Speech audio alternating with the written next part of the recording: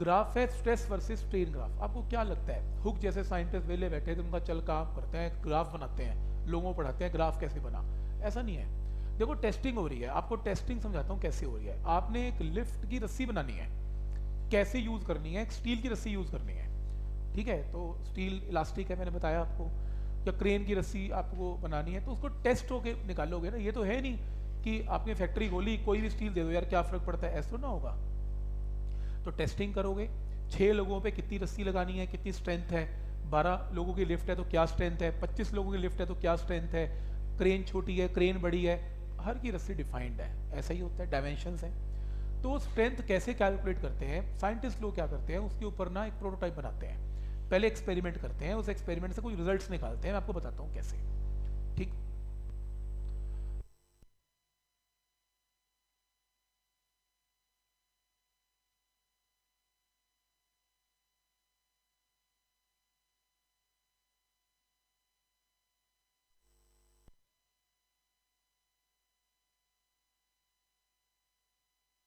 ठीक? तो देखो स्ट्रेस और स्ट्रेन ग्राफ के अंदर एक एक्सपेरिमेंट देखो कैसे किया गया। ये इंपॉर्टेंट एक्सपेरिमेंट है।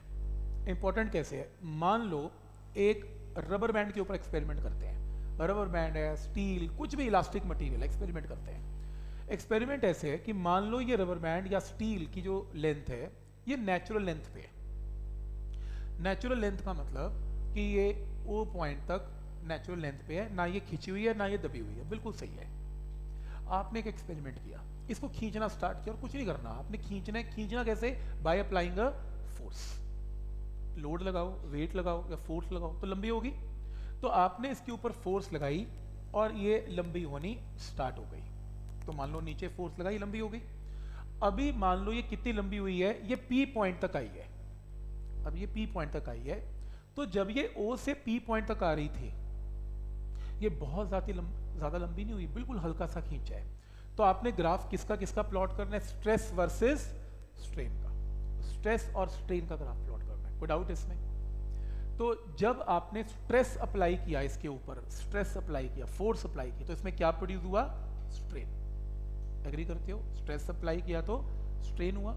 तो ग्राफ क्या बनेगा? हुक्स ने क्या कहा था? Stress proportional to strain. Graph is a straight line. तो स्ट्रेट लाइन ग्राफ बनना स्टार्ट हुआ ओ से पी तक, बिल्कुल स्ट्रेट है। कोई स्टूडेंट आया, वो कहता जी स्ट्रेट है तो 45 डिग्री पे होना चाहिए, क्योंकि stress is proportional to strain X is proportional to Y तो ग्राफ ओरिजिन से पास होगा और 45 डिग्री पे होगा। नहीं, ज़रूरी नहीं है। क्यों? एक्स प्रोपोर्शनल टू वाई का ग्राफ क्या बिल्कुल 45 डिग्री पे होगा? बनेगा तो स्ट्रेट हाँ या ना? क्यों? कांस्टेंट भी तो लगेगा प्रोपोर्शनल बोल रहा हूँ। मैंने बोला एक्स प्रोपोर्शनल टू वाई क्या पता एक्स में जब कांस्टेंट आएगा, वो कांस्टेंट हो सकता है फोर हो, क्या पता फाइव हो, क्या पता सिक्स हो। तो ज़रूरी नहीं कि फोर्टी फाइव डिग्री पे होगा। किसी भी डिग्री पे हो सकता है, होगा स्ट्रेट तो ऊपर भी, नीचे भी, कैसे भी हो सकता है। क्लियर है यहाँ तक? वो मैंने 45 डिग्री बनाया तो ज़रूरी नहीं कि 45 बनेगा, ऊपर नीचे बन सकता है। क्लियर है यहाँ तक? चलो एक्सपेरिमेंट पे चलते हैं। तो इस ग्राफ में x प्रोपोर्शनल टू वाई तो ये ग्राफ है। तो stress proportional to strain Hooke's law applicable था तो ओ से लेके पी तक हुक्स लॉ एप्लीकेबल है। हुक्स लॉ क्या कहते हैं? स्ट्रेस प्रोपोर्शनल टू स्ट्रेन क्या ये स्टेप यहाँ तक क्लियर है? एप्लीकेबल है। अब पी पॉइंट तक हुक्स लॉ एप्लीकेबल है। इस पी पॉइंट को बोलते हैं लिमिट ऑफ़ प्रोपोर्शनैलिटी तो साइंटिस्ट ने ये देखा कि अगर आप इसको थोड़ा बहुत खींचते हो स्ट्रेस प्रोपोर्शनल टू स्ट्रेन है, लेकिन अगर आप इससे ज़्यादा खींचते हो तो stress is not directly proportional to strain दोनों में से वेरिएशन चेंज होएगी। हो सकता है थोड़ा सा स्ट्रेस प्रोड्यूस करते हुए स्ट्रेन ज़्यादा हो जाए, मैं कह नहीं सकता, पर हुक्स लॉ हर वक्त एप्लीकेबल नहीं रहेगा। हुक्स लॉ एप्लीकेबल रहेगा सिर्फ़ पी पॉइंट तक। और पी पॉइंट का नाम क्या है? लिमिट ऑफ़ प्रोपोर्शनैलिटी अब वो साइंटिस्ट नहीं हटा, उसने कहा जी और खींचना है। ठीक है, और खींचो। तो और खींचा कहाँ तक? ई तक और खींचा। अब P से E तक stress is not directly proportional to strain देखा गया। ये साइंटिस्ट लोग की ऑब्जर्वेशन है। मैं नहीं बता रहा कि ऐसा हुआ। हर मटेरियल पे टेस्टिंग करने के बाद ये रिज़ल्ट आया। कि हुक्स लॉ थोड़े टाइम के बाद हट जाता है। और इसलिए ग्राफ जो है, वो स्ट्रेट नहीं आया। कम स्ट्रेस प्रोड्यूस करने पे भी स्ट्रेन ज़्यादा आया। मतलब हल्की सी फोर्स लगाने पे भी स्ट्रेन ज़्यादा आया, क्योंकि इलास्टिसिटी थोड़ी सी कम हो गई थी। ज़्यादा खींच दिया आपने। तो अब ई e पॉइंट आ गया। ई e पॉइंट का नाम है इलास्टिक लिमिट वार्निंग इशू कर दी उस साइंटिस्ट को। अगर तूने इससे ज़्यादा खींचा तो एक्सपेक्ट ना करना कि रबर बैंड छोड़ने पे यहाँ पे आ जाएगा। अगर ज़्यादा खींचा तो इलास्टिसिटी लूज हो जाएगी। रबर बैंड लूज हो जाएगा। तो मतलब नेचुरल लेंथ पे वापस नहीं आएगा। हाँ अगर तुम ई e तक खींच रहे हो कोई टेंशन नहीं। ये लास्ट पॉइंट है ई e, यहाँ तक खींचने में जहाँ मर्ज़ी छोड़ दो अल्टीमेटली ओ पे आ जाएगा। लेकिन अगर आपने ई e से ज़्यादा खींच दिया तो फिर आपकी रबर बैंड क्या हो जाएगी? लूज हो जाएगी। परमानेंट लूज हो जाएगी स्ट्रेंथ लॉस हो जाएगी इसकी। इलास्टिसिटी लूज हो जाएगी इसकी। लेकिन फिर भी नहीं हटा उसने फिर खींचा। तो उसने ए तक खींच दिया। हुक्स लॉ तो क्या ही अप्लाई होना था? उसने ए तक खींच दिया। उसको मना किया था खींचने से, अब जब उसने रबर बैंड को छोड़ा तो रबर बैंड ओ पे नहीं आके रुका। रबर बैंड कहाँ पे आके रुका? ओ डैश पे। परमानेंट ट्रेन प्रोड्यूस करके बैठ गया।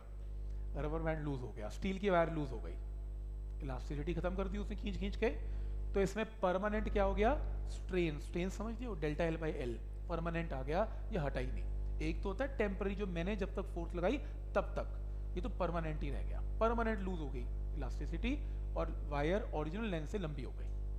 क्लियर है यहाँ तक? तो ये ए पॉइंट पर आ गया। वार्निंग इशू कर दी गई थी। अगर तुमने ई e को क्रॉस किया तो वायर अपनी नेचुरल लेंथ में नहीं आएगी तो तुम इसकी इलास्टिसिटी लूज कर रहे हो तो कौन सा रीजन स्टार्ट हो गया उसका? प्लास्टिक रीजन क्योंकि अब वो उस डायमेंशन में वापस नहीं आ पाएगा। वो हटा फिर भी नहीं, उसने और फोर्स लगाई। ए को भी टापना शुरू कर दिया। अल्टीमेटली होना क्या था? वायर ने अपने आप ही बहना स्टार्ट कर दिया। मतलब इतनी पतली वायर होगी, इतनी पतली वायर होगी कि वो खुद ही अपने वेट से खींचती जा रही है और पतली सी एक लाइन होती होती होती वो भी टूट गई। और कौन सा पॉइंट आ गया? फेलियर पॉइंट या ब्रेकिंग पॉइंट अब जब तुम लिफ्ट की रस्सी बनाओगे और लोगों को बेचोगे लिफ्ट वालों को तो उसमें आप क्या कहोगे? ओनली फॉर सिक्स पीपल तो तुम ई e से भी कम पी तक काम करने की कोशिश करोगे। कि भाई ज़्यादा देखो, आप बाउंड्री केस क्यों करोगे? अगर मान लो दस लोग बिठा दिए तो तुमने तो तुमने वायर को तो यहाँ से यहाँ तक खींच दिया? और हो सकता है एक आध धक्के से चढ़ गया छः की जगह दस लोग चढ़ गए टाइट टाइट तक घुस घुस के, ऐसा होता है? तो क्या होगा? आपने ई e को क्रॉस कर दिया। वो परमानेंट प्रोड्यूस हो जाएगा, और इसके बाद अगर दस दस लोग बैठने स्टार्ट हो गए अल्टीमेटली कौन सा हो जाएगा उसका? फेलियर पॉइंट हो जाएगा और लिफ्ट टूट जाएगी। रस्सी टूटेगी लिफ्ट की। तो आपने जो काम करना है यानी कि कोई भी रस्सी या कोई भी इलास्टिक बिहेवियर होगा, इलास्टिक वायर होगी, वो हम अपना एक्सपेरिमेंट अपना फोर्स यहाँ तक ही लगाने की कोशिश करेंगे। कम से कम ई e को तो बिल्कुल भी क्रॉस नहीं करेंगे। इलास्टिसिटी मेंटेन रहेगी। क्या ये बात समझ में आ रही है यहाँ तक? तो कैसे एक्सपेरिमेंट होते हैं, समझ में आ रहा है? अब लिफ्ट बनाने वाले को पता है कि पी पॉइंट तक तो सेफ़ है, बिल्कुल सेफ़ है। खींचोगे, वहीं पर आ जाएगी। ई e तक भी सेफ़ है, पर वो क्या करेंगे? अगर लिफ्ट की कैपेसिटी सात लोगों की है सिक्स पीपल ओनली पता है यार, लोगों ने घुसना ही घुसने अंदर। ठीक है तो सिक्स पीपल ओनली तो वो एक और कम कर देंगे फोर पीपल ओनली कर देंगे। उठा तो पाँच भी लेती है वो। तुमको पता है कि फिर गड़बड़ हो जाएगी। उठा तो वो छः भी लेगी, फिर और गड़बड़ हो जाएगी। और आजकल तो लिफ्ट तो उठाती नहीं है। ज़्यादा लोड हो गया, उन्हें मना ही करते सेंसर लगे होते हैं। कहते हैं, जी, छोड़ो वेट ही बढ़ गया। सबसे बेस्ट तरीका है। लिफ्ट ही ऐसी लगा लेते हैं लोग। अगर चार की जगह पाँच हो गए, लिफ्ट उठती नहीं है। बात ही खत्म हो गई। पॉइंट समझ में आ रहे हैं यहाँ तक? ठीक है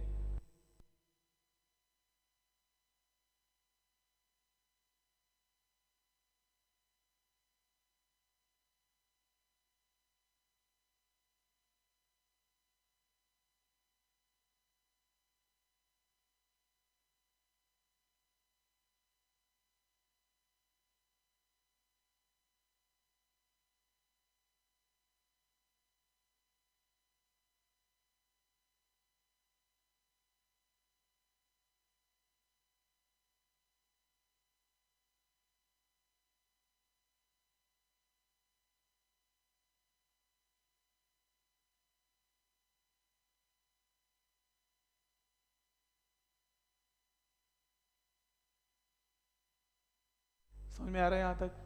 तो इसमें ये पॉइंट क्लियर है यहाँ तक। नेक्स्ट है, इसी के अंदर जब पेपर में आएगा तो इंपॉर्टेंट पॉइंट्स नोट करते हैं। ये इंपॉर्टेंट पॉइंट्स हैं। ये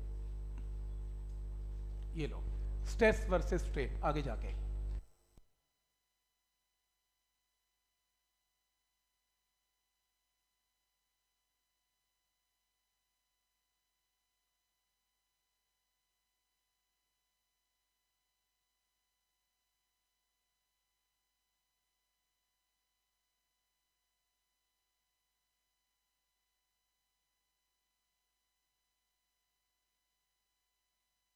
एक्सक्यूज मी सर बोलो। सर ये पॉइंट्स फॉर्मूला नोटबुक में नोट करने हैं। नहीं नहीं मैं आपको बुकलेट दूँगा इसकी कुछ नहीं नोट करना आपने अभी। Okay sir